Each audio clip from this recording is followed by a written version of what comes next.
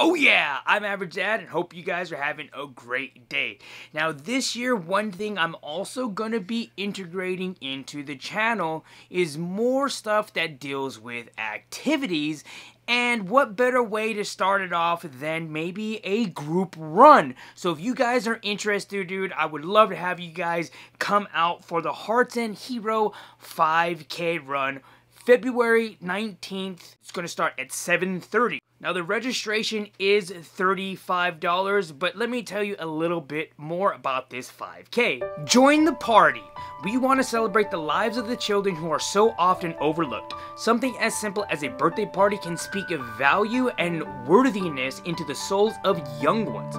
Many foster children never have the opportunity to have a birthday celebration of their own.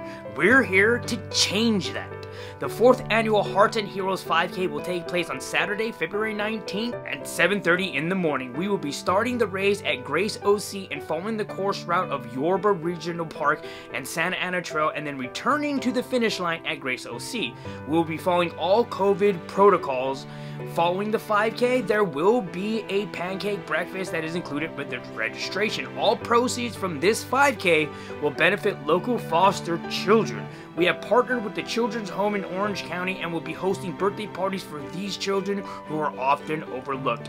Many of them have never experienced birthday parties of their own.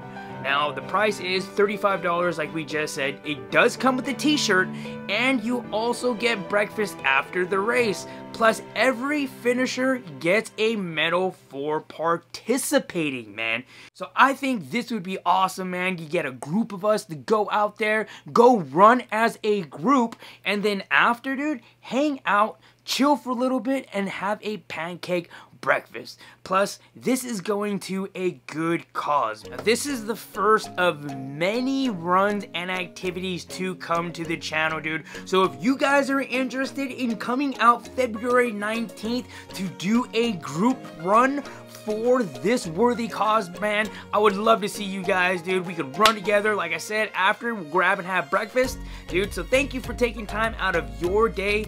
We did just go to Glow Farm last night, so stay tuned later on because I'm editing that right now. But we just got our registration done, so hope to see you guys on February 19th. You guys enjoy your day, and I will see you later on for the Glow Farm video. Guys, take care.